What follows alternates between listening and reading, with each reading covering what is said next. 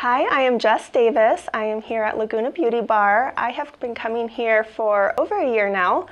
I have been extremely happy with all of my services done here. I have done permanent makeup, I have done skincare, facials, dermaplaning, which is absolutely phenomenal, and I've also had my eyelashes done for about a year now.